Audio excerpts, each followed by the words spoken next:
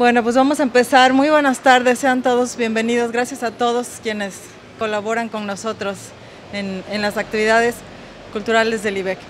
Me da mucho gusto en nombre del Instituto Veracruzano de la Cultura saludar hoy a mi compañera y amiga secretaria de Turismo, Xochitl Arbezú Lago, al alcalde de Boca del Río, Alfonso Morelli, y eh, a quien eh, inaugura hoy con nosotros el Festival Agustín Lara, gran músico Edgar Dorantes. Muchas gracias a mi compañero Miguel Zamudio, director de la Casa Museo Agustín Lara, y a todo el equipo de trabajo que colabora con él.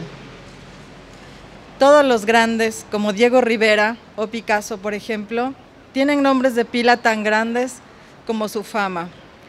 Ángel Agustín, María Carlos, Fausto, Mariano, Alfonso del Sagrado Corazón de Jesús, Lara, Aguirre y del Pino. Agustín Lara, nuestro flaco de oro, no es la excepción. Tan grande como su nombre, su talento, su don para la composición, se dice, escribió más de 700 canciones. Cantó a la mujer, a su tierra, a la patria, a la madre patria, al amor y al desamor. Los temas recurrentes en su inspiración pueden interpretarse como una proyección internacional de los valores y aptitudes del ambiente cultural que predominaban en México y permanecen hoy como parte del imaginario colectivo de todos los veracruzanos, de todos los mexicanos y, cómo no, eh, inspirarse aquí en esta casita blanca, mirando al mar cada mañana y con el estudio de grabación instalado aquí. El gobierno del estado de Veracruz, a través del IBEC, en coordinación y con el apoyo de la Secretaría de Turismo y de los municipios de Boca del Río, Veracruz, Jalapa y Tlacotalpan, conmemoramos al maestro Agustín Lara a 123 años de su natalicio, que se recuerda precisamente el día de hoy, 30 de octubre. Celebramos al compositor con una gran versatilidad para abordar distintos géneros musicales y una obra prolífica, tango, la milonga, el bolero, el son y el danzón, entre otros, son los géneros que toca con su música haciendo gala de un talento inigualable. Revaloramos y repensamos la figura de Agustín Lara en la perspectiva cultural de su tiempo, enfatizamos su fase de compositor, músico y promotor de figuras y géneros musicales.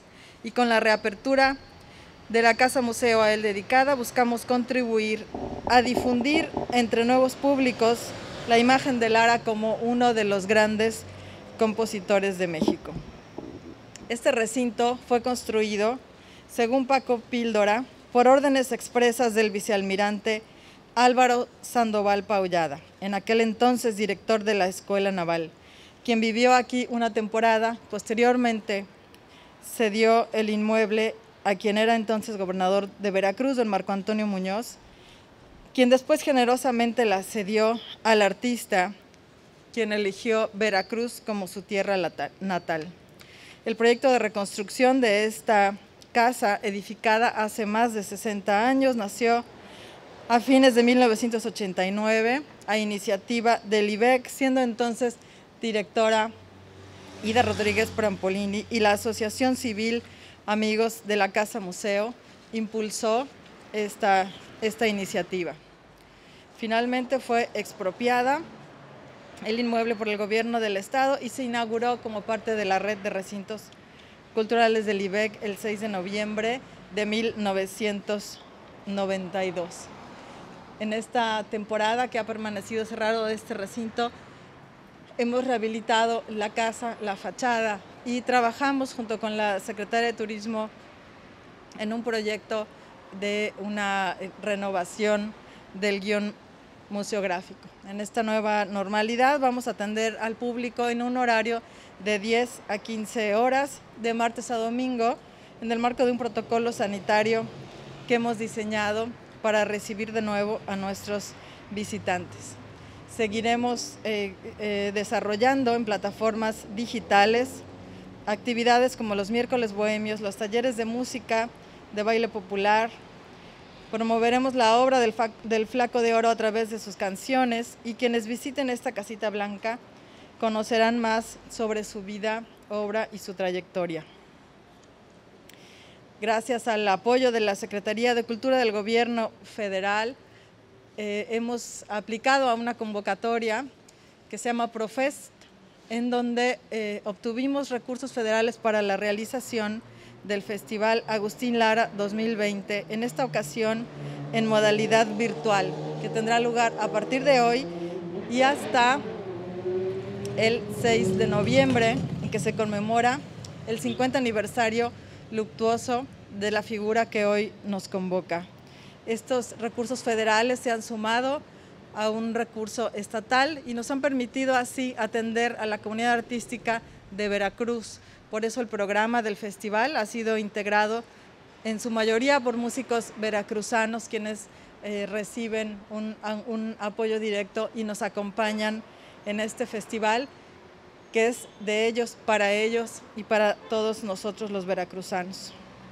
Vamos a contar en el festival con la participación de más de tres espectáculos artísticos, entre los que destacan Angélica Aragón, Marisela Lara, Rodrigo de la Cadena, el tenor Mauro Calderón, Los Pregoneros del Recuerdo, Mabarak Ensamble, Son de Barro, la Orquesta de Música Popular de Memo Salamanca, la Orquesta Combo Ninguno, Los Tigres de la Costa, la Compañía de Títeres Dragón Rojo, que promueve entre los públicos infantiles la obra de Agustín Lara, el ensamble de Boca, el maestro Edgar Dorantes, que inaugura hoy este festival, Martín Espinosa, Claudia Rodón, Mati Bello y otros invitados, quienes han grabado sus presentaciones en locaciones como el Teatro Francisco Javier Clavijero, gracias al apoyo del municipio de Veracruz, el Teatro Netzahualcoyot de Tlacotalpan, gracias al apoyo de su patronato y del alcalde también, el, Teatro del Estado en Jalapa, el Callejón Toña la Negra,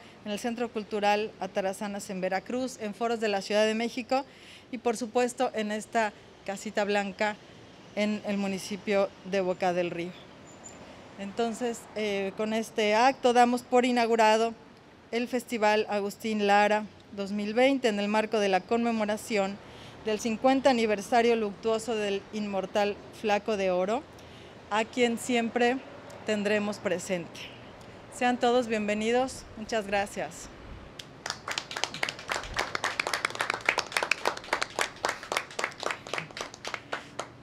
Quiero agradecer al alcalde su, su, apoyo para que de manera conjunta conservemos este, este recinto que es punto, punto obligado de, de interés para los visitantes, a la zona conurbada Veracruz Boca del Río, eh, agradecer, Xochitl, tu apoyo siempre. Nos da mucho gusto que estés aquí, Edgar, en el acto inaugural de la, de la reapertura de la Casita Blanca del Festival Agustín Lara y reconocer el trabajo de mi compañero Miguel Zamudio en la coordinación de este festival, de todo su equipo y de mis compañeros del IBEC, la subdirección de, de Artes y Patrimonio, el maestro Sergio Rosete, y todo un gran equipo también de compañeros que hacen posible este proceso de reapertura de los recintos y este festival. Vamos a escuchar al alcalde de Boca del Río. Adelante.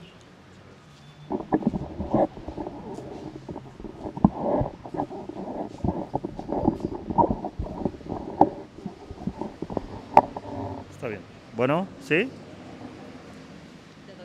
Muy buenas tardes. Me da mucho gusto estar aquí con ustedes.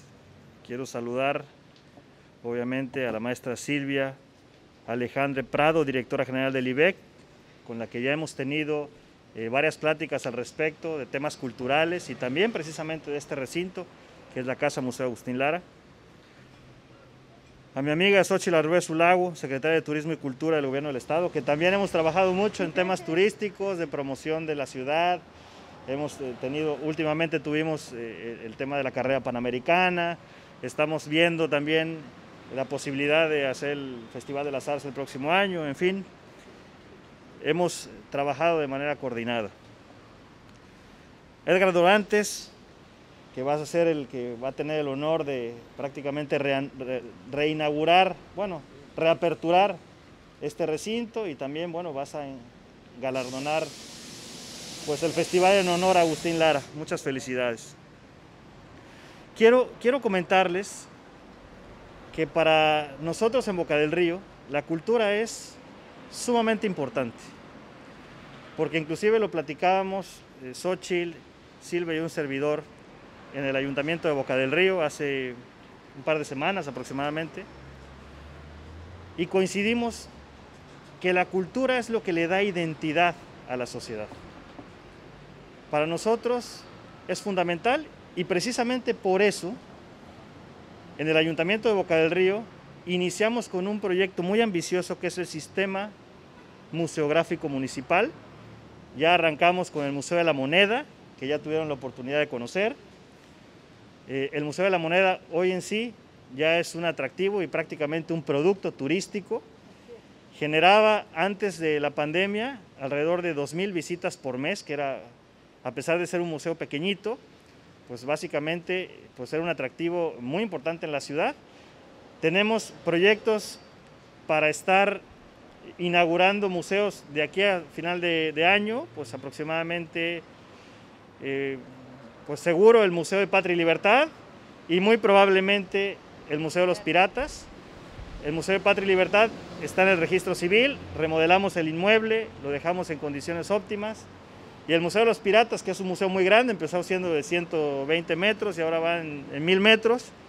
Le hemos ido añadiendo, eh, obviamente, los alcances. Creo que va a ser un atractivo muy importante también turístico y cultural.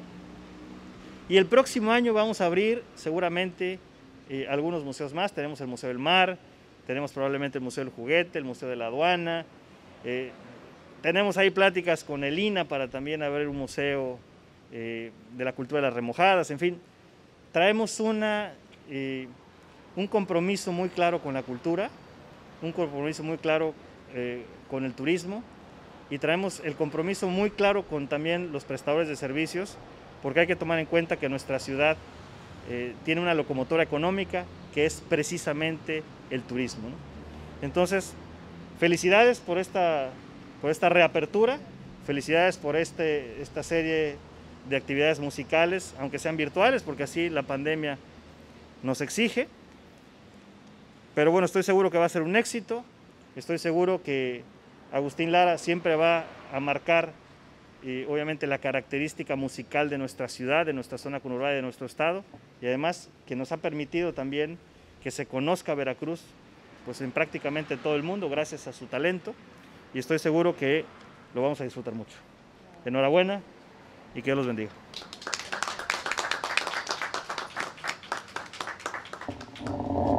Es una canción. Es una canción.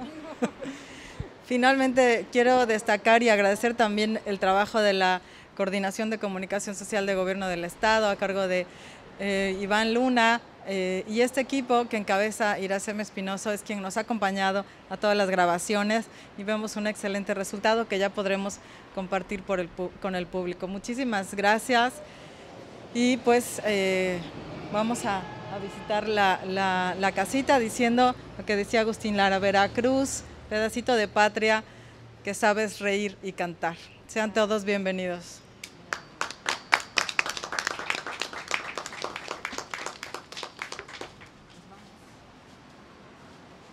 Gracias.